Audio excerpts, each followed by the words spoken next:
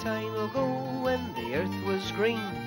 There was more kinds of animals than you've ever seen, and they'd run around free. The earth was being born, so the loveliest of them all was a unicorn.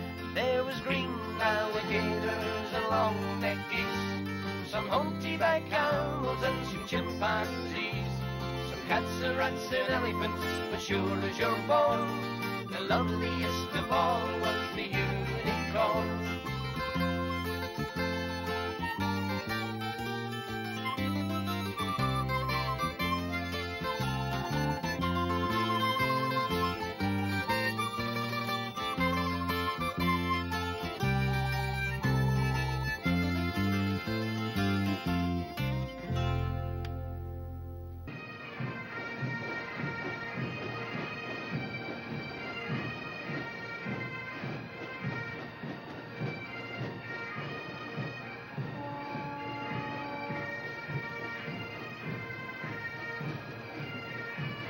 Ladies and gentlemen, the Irish Rovers are in Bonnie, Scotland. It's the beginning of festival week, and we're here to catch a bit of the parade on opening day. Get out your big pipes and a wee deoch an doris, and join us in Bonnie, Scotland.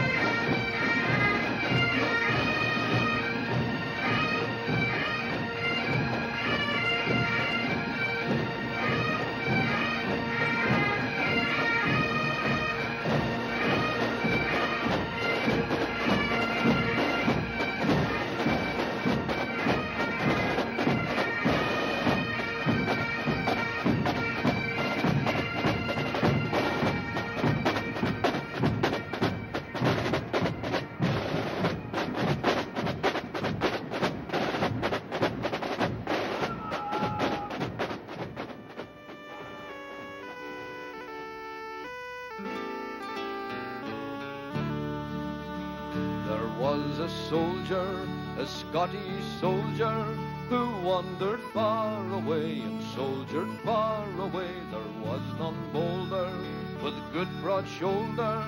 He's fought in many's a fray and fought and won.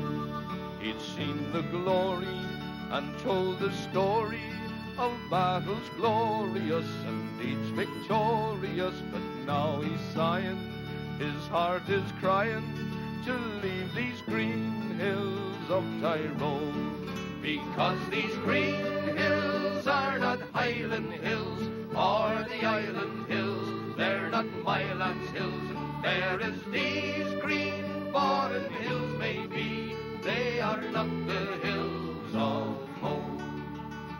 And now the soldier, the Scottish soldier, who'd wandered far away and soldiered far away, sees leaves are falling and death is calling, and he will fade away in that far land.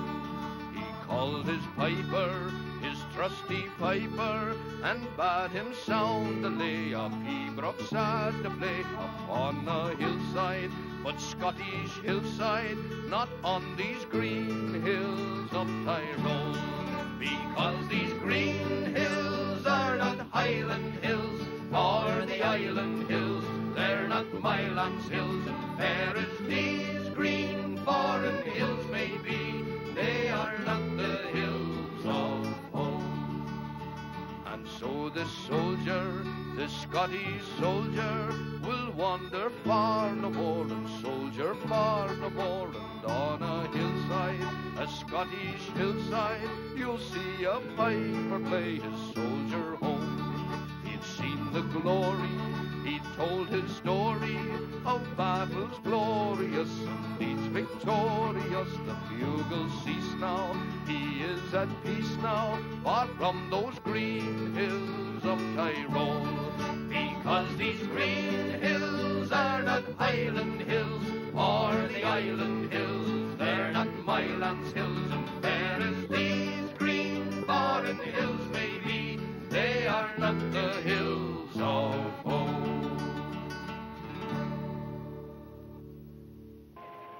hundreds of years, What are probably the most famous shipyards in the world are the ones situated on the Clyde banks outside Glasgow.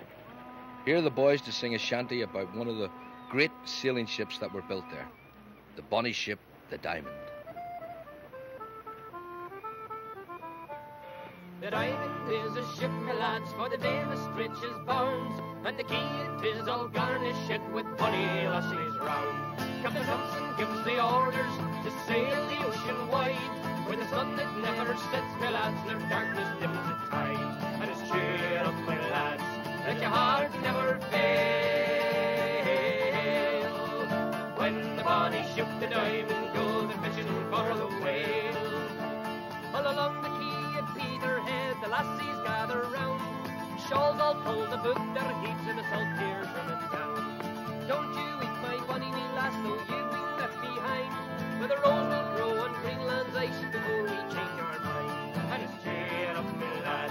your heart never fail.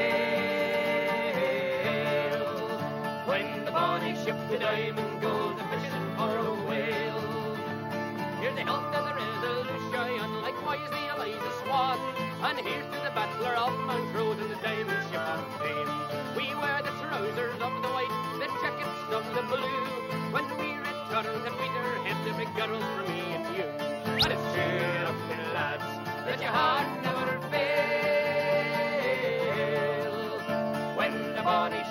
diamond, goes a fishing for the whale.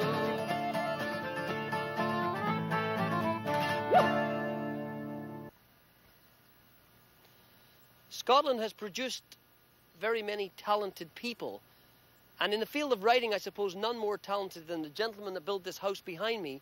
The house is called Abbotsford, and the gentleman's name was Sir Walter Scott. Many of you will know him for his great novels like the Waverley novels, The Lay of the Last Minstrel, The Lady of Shalott, to name just a few. We've been wandering around these beautiful grounds this afternoon, and the place Abbotsford, by the way, was named because of the River Tweed that runs nearby, and it's a place that the monks used to use to ford the river to go across to Melrose Abbey. Many, many interesting stories and many interesting artifacts inside his studies, like a lock of Prince Charlie's hair, the sword and the gun that Rob Roy used. But this afternoon we're here to play a wee bit of music. And speaking of Scotland's talented people, we have one of them with us this afternoon, and I might add one of the most favourite of mine. Her name is Isla St. Clair. Isla, come here. Mwah. Oh. Isla sang with us. Was it two years ago? Two years. And what was the that? What was that wee song that you sang in that time? Ae fond kiss. Yeah, Robbie Burns wrote a song called "Ae Fond Kiss." You know that you stole my heart that time two years ago, did you? It's still thumping. Don't Feel, feel. Go on. See, It's I not true. plucked you a little bit of feather. no, it's beautiful. Will you sing us another beautiful song today, Yes. Miss Isla St.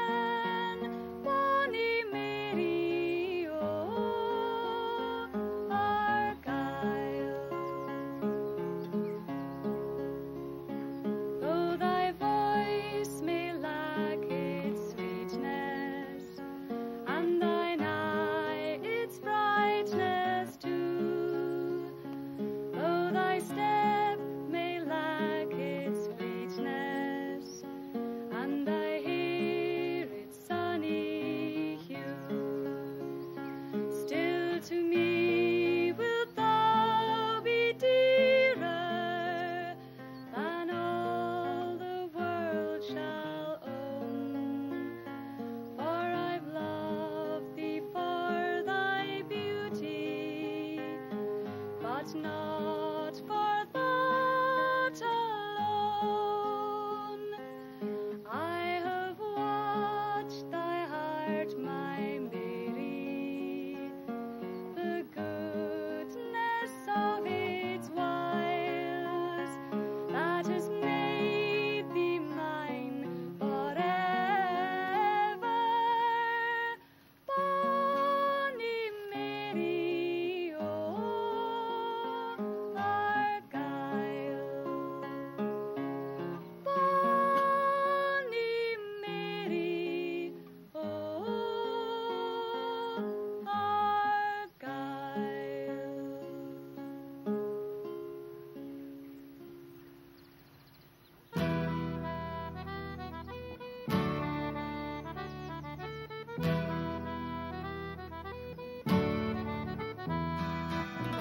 The heather at the hill of Bennachie, rolling with the wee girl underneath the tree. A bumby me well above the knee, up among the heather at the hill of Bennachie.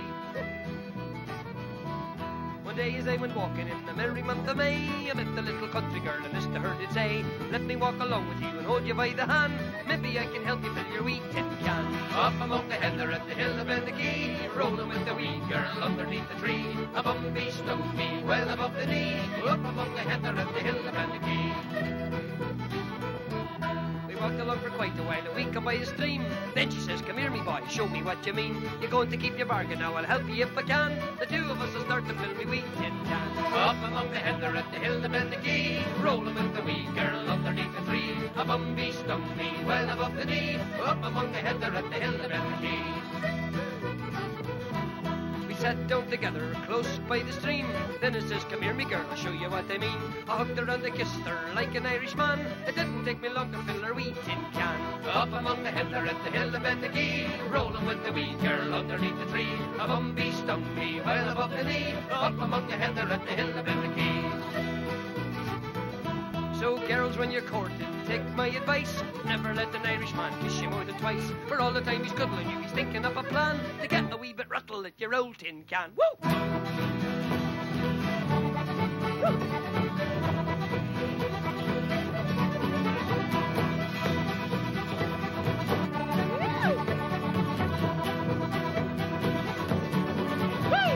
Up among the heather at the hill of Bennachie, rolling with the wee girl underneath the tree. A bumby stung well above the knee, up heather at the hill of Bennachie.